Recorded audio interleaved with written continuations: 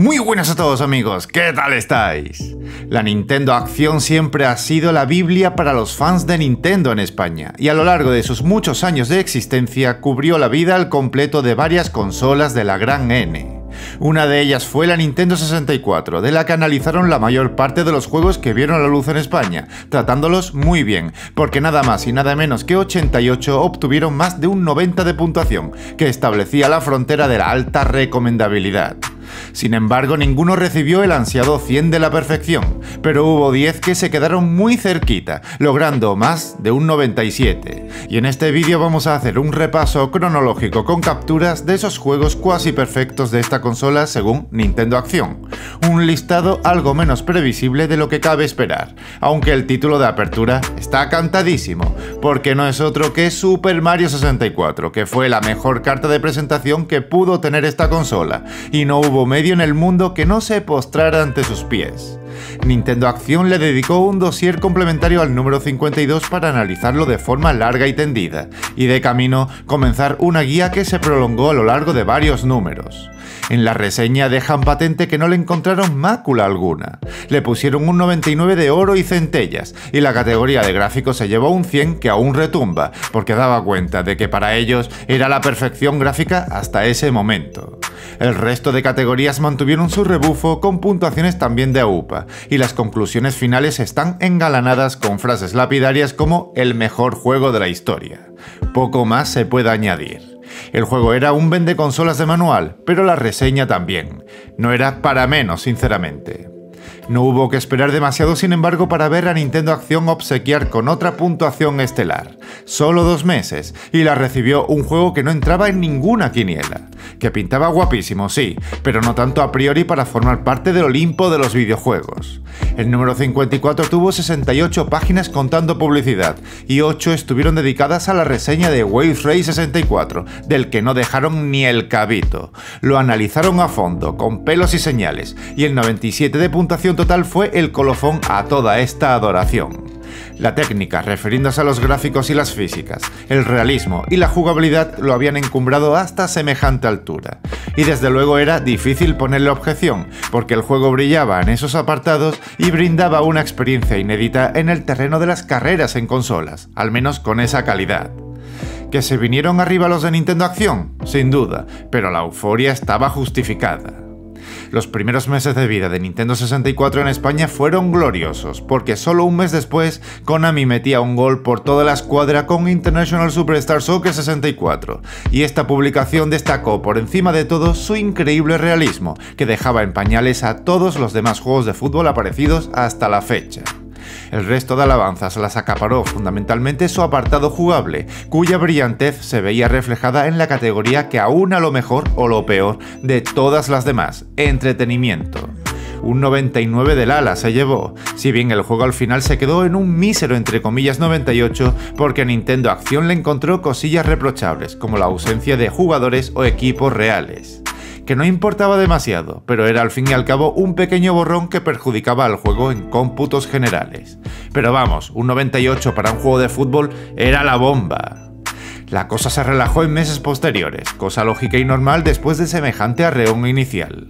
Y fue Rare, sin embargo, la que devolvió la alegría de dar una puntuación de cuasi perfección a Nintendo Acción, que entre tanto había modernizado su diseño.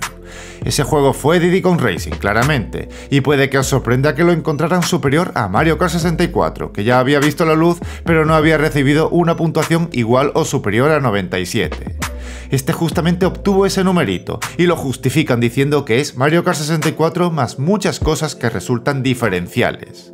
Asimismo, gráficamente lo encontraron a un nivel superior. El hecho de poder vivir una aventura entre carrera y carrera también les pareció sensacional y el uso de diferentes vehículos fue la guinda a tan rico pastel. Esta revista a partir de aquí empezó a tener una fuerte predilección por Rare, cosa también lógica y normal, porque ya estaba haciendo cosas muy tochas en Nintendo 64. Y así quedó constatado 8 números después, en su siguiente gran lanzamiento. 10 paginazas de reseña comenzadas por la frase el mejor juego desde Super Mario 64. Imposible decir más en menos palabras, porque así se presentaba Banjo-Kazooie a los ávidos lectores, que llevaban meses babeando por él, porque apuntaba muchas maneras. Maneras que se confirmaron con otro 97 de relumbrón como puntuación global. Un 97 que hubo a quien le supo a poco en vista del 99 en gráficos y el 98 en jugabilidad. Como si un 97 acaso fuera poco. Pero claro, había mal acostumbrado a los usuarios de la Nintendo 64 con tanta puntuación celestial en tan poco tiempo. Está a mi modo de ver totalmente comprensible, porque Banjo no solo fue un plataformas 3D espectacular, sino la prueba viva también de que era posible crear un juego que hiciera sombra a Super Mario 64, lo cual hasta el momento parecía imposible. Rare demostró que el que vale vale y el que no, ya conocéis la rima. Entonces llegó el mes de noviembre de 1998 la Nintendo 64 alcanzaba el clímax de su madurez con un lanzamiento que volvía a generar una envidia insana en la competencia. Un lanzamiento que se veía a una legua que se llevaría una puntuación de agárrate y no te menes.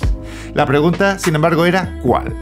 Si Nintendo Acción se atrevería a darle la más alta si de verdad era tan bueno o si se terminaría amilanando y resultó ser así de bueno, y no se amilanaron, porque rindiéndose a la evidencia, dotaron a Ocarina of Time de la puntuación que hasta el momento solo había tenido el honor de recibir el fontanero bigotudo. Un 99, puntuación replicada por cierto en gráficos y sonido, pero superada incluso en la categoría de entretenimiento, la decisiva, con un 100 en rojo que crea una órbita de atención a su alrededor.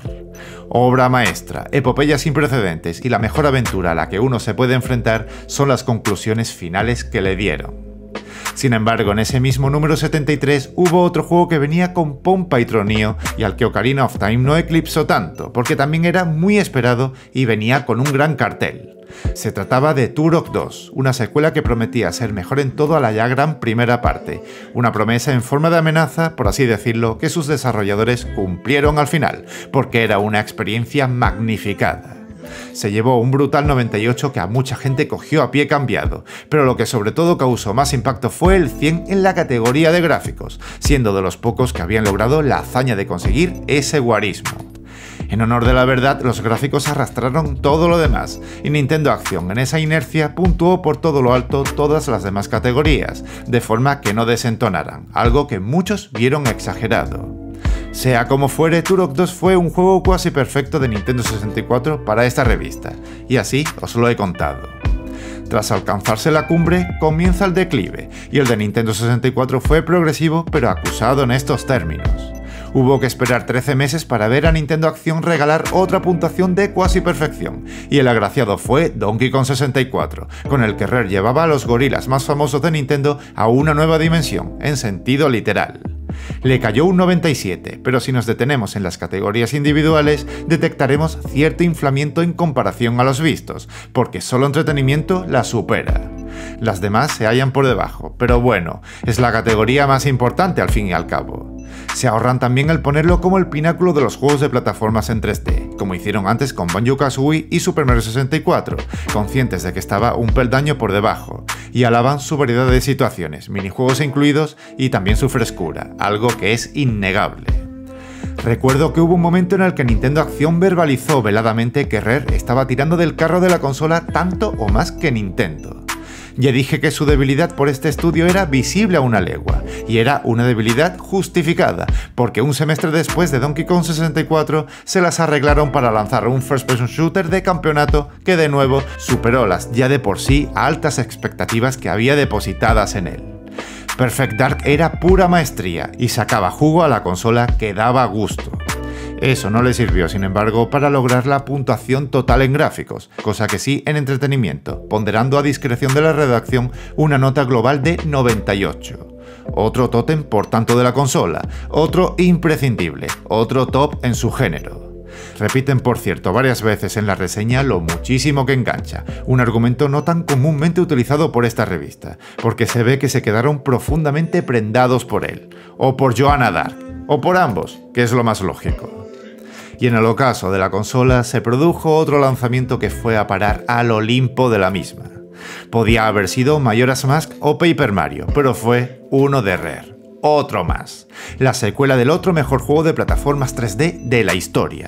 Una secuela que no decepcionó en absoluto a Nintendo Acción, que lo veían como un más y mejor que su antecesor, aunque le pusieron una puntuación un pelín más baja, un 97 En este nuevo formato de reseñas, más agradecido al destacar lo bueno y lo malo de cada categoría, vemos como ninguna supera el umbral del 98, encontrando aspectos negativos en todas ellas, por increíble que parezca dadas sus elevadísimas puntuaciones.